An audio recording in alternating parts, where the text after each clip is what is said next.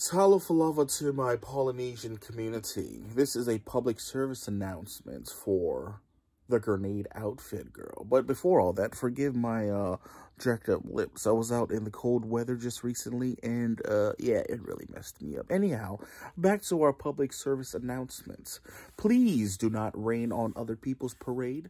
Don't be a grenade on their parade because people are going to throw grenades at you and it's going to blow up 10 times worse than the first grenade that you threw to the people having fun on their parade. I'd catch a grenade So when I see this situation, there's only one comparison that comes to mind. Court jester and a bunch of queens. Court jester is the one standing on the sideline making fun of queens having fun.